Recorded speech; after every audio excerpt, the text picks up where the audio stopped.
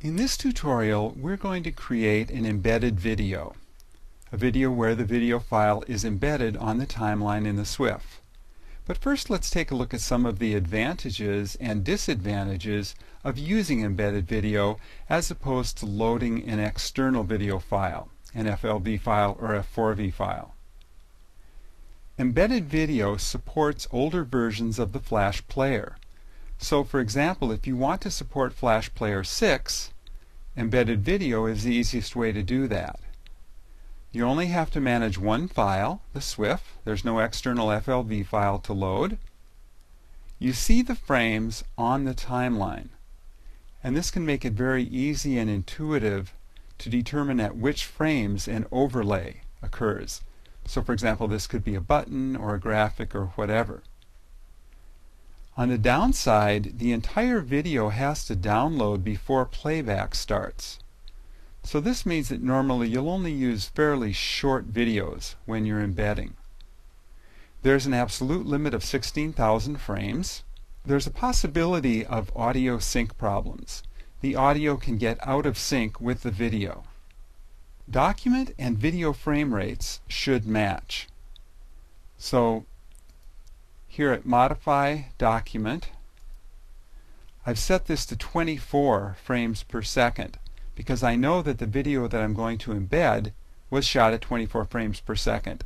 If I had this, say at 12, and I was embedding a video that had been shot at 24 frames per second, the video would run at half speed. It would be slow-mo. I've also, by the way, set the dimensions to be the same as the dimensions of my video. External video supports streaming and live broadcast. Embedded video does not. It's easier and quicker with external video to substitute a different clip for the one you're playing. We'll see that in a future tutorial. There's no video length limit, no audio sync issues. You can use video player components in the Flash authoring environment, such as the video playback component. And this is a pre-built module that plays videos, so that's very convenient and can save you a lot of work. There are no frame rate limitations. You can play FLV files of any frame rate, and it doesn't matter what the frame rate of your timeline is.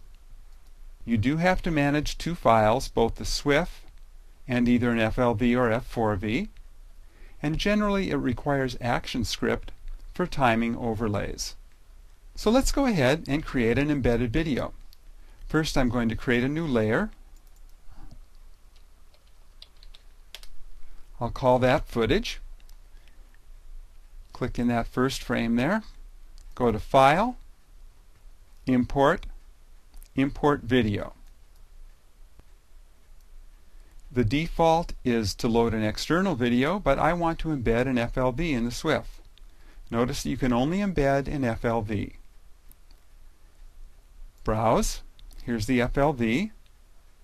Open. And that's all I have to do here. Just go to Next. The symbol type, I could choose a movie clip or a graphic, but I'm just going to let it be an embedded video. Place an instance on the stage, yes. Expand the timeline if needed, yes. I will not include audio. Click Next. It summarizes my choices and click Finish.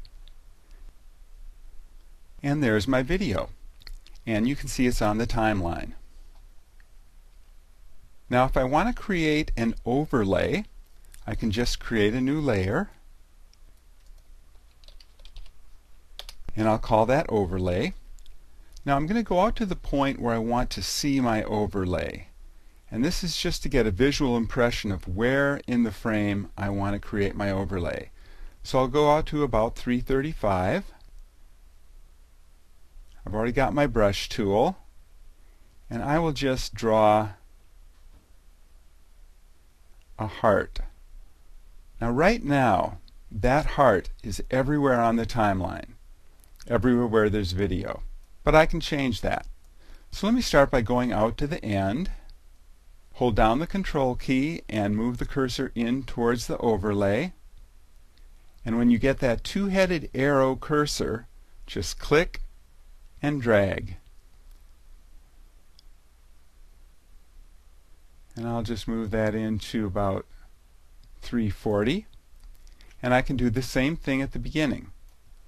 Just hold down the control key move the cursor. Now don't get this cursor. It has two arrows but it also has those two lines in the middle.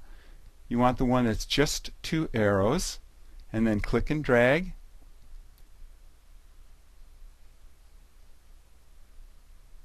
and I'll move that to about 325 and now I've timed that overlay. So let's test that. I'll just go here go to control and play. And you can see the overlay appears and it disappears. And that concludes this tutorial on embedded video